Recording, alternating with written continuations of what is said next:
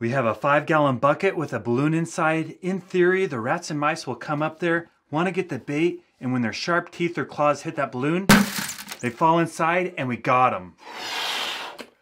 Today for Mousetrap Monday, we're gonna see if we can catch rats with a balloon and a bucket. It's a really fun idea and videos about this trap have gone viral. I've seen them on Facebook, TikTok, and YouTube with quite a few videos reaching over a million views.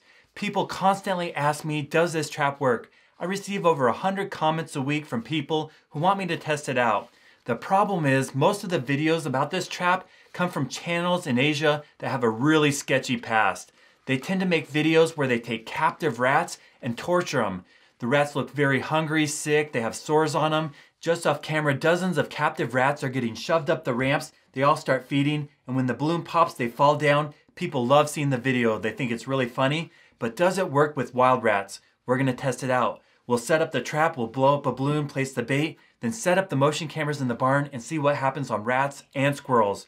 When my kids found out I was doing a balloon trap, they wanted to help. Carson has the air compressor right here, and Sterling has the bait. So we'll go ahead and place our balloon in the top. Well, slow down a little.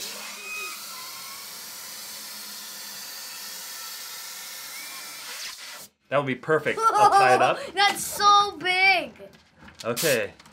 Now Sterling will put some bait right here.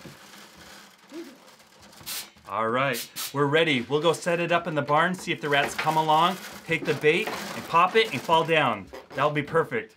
This will be a good test to see if this trap actually works. Let's go see what happens.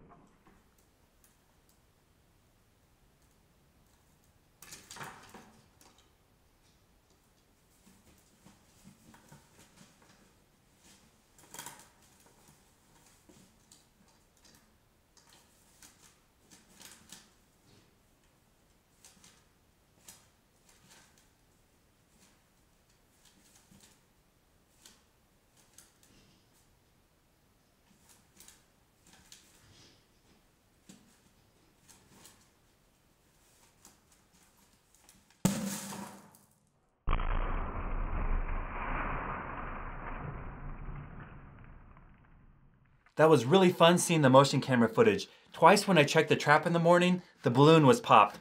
Once when a rat went up there, it popped the balloon and flew back so fast, it was really funny. And then that squirrel, it packed its cheeks so full, tried to get a few more and popped the balloon and was out of there. Now I tried this trap for a full week, but once the rats learned about the balloon, they never came back and actually popped it. They gently pull seeds off, but every morning the balloon was still there, so they're really cautious. Mice also went up the ramp and ate the bait, but they didn't pop the balloon. They might be too small.